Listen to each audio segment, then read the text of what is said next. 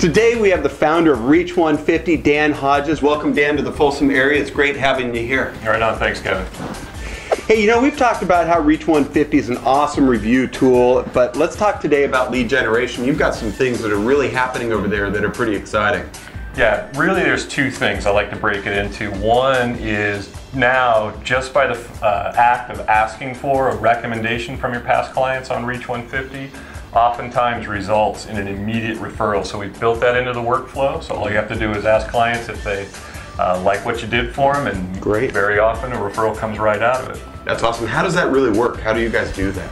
So we send out a request on your behalf to the client. You tell us to do that. Um, we ask them to write a recommendation that you can share online. Once they do that, we just ask them, who else do you know I should be doing business with? And uh, very often they come up with somebody right away. Well, there you've got it. Hey, thanks for being here, Dan. We really appreciate it. This is an awesome tool. If you've got any questions about what's going on with it or if it's right for you, click below. Dan or his team would be happy to talk to you. And uh, that's it for another edition of the Real Estate Insider Weekly. Thank you for being here. Right on, thank you. If we can talk to any of your clients and get them pre-approved or you've got any questions about loans, give us a call. We'd love to help. Take care.